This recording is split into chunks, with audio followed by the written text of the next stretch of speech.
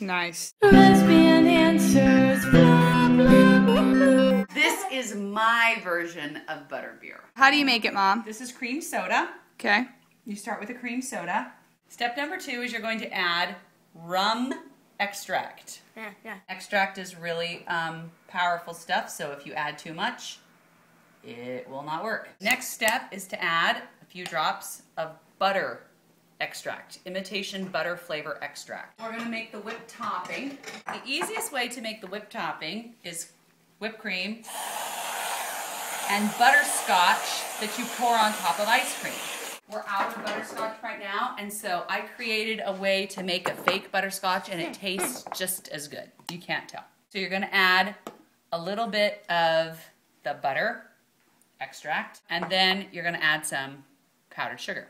I mean some Brown sugar. Yeah. And you stir it until it gets really, really smooth. Gives it a little more of the Harry Potter butterbeer flavor. We add just a pinch of cinnamon to it. This goes on the top like this. So it creates like a beer top. Right. Wow. All right, I'm excited. Oh my god. Okay, here's what I want to know, and maybe someone smarter than I can explain this to me. I want to know why no place has boxes, okay? I'm not talking about brown packing boxes. I'm not talking about gift boxes that are like five bucks a piece. I'm talking about the simple white birthday congratulations, I got you a hideous sweater and I put it in this white box box. All right. I want to know if there's a box banned. The company is going on strike and therefore are in high demand. Are they $10 million? Because I've gone to three stores. Three. Target, the Dollar Tree, and CVS. And none of those three places, which have bags and wrapping paper and tissue, have boxes. Why are you selling wrapping paper? What? Why?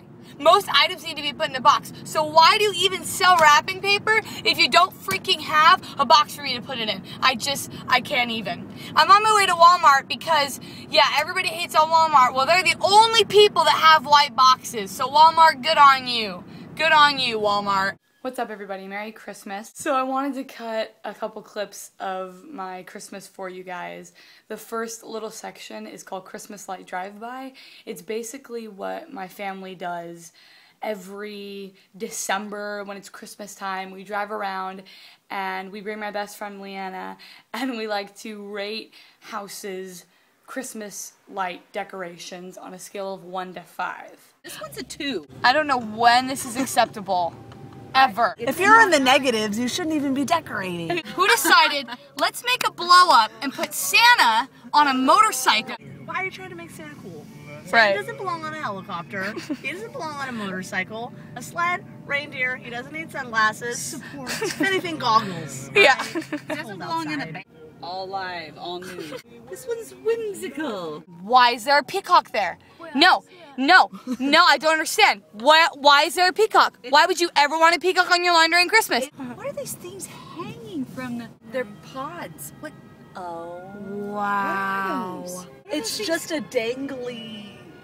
It's I appreciate the lawn. The lawn's got some The potential. got- The lawn is awesome, but the background. Oh, oh wow. Wow. Couldn't make the lights fit. No.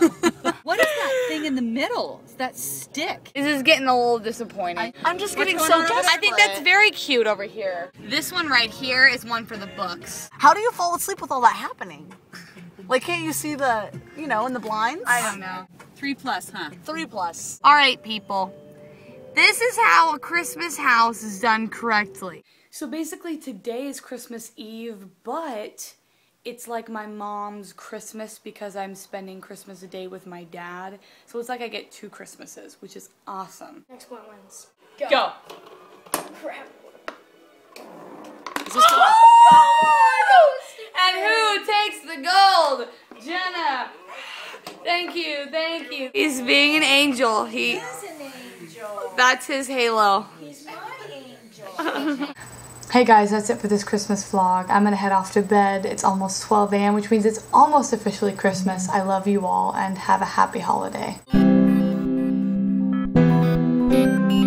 Honey, will you buy an extra strand of blinking lights?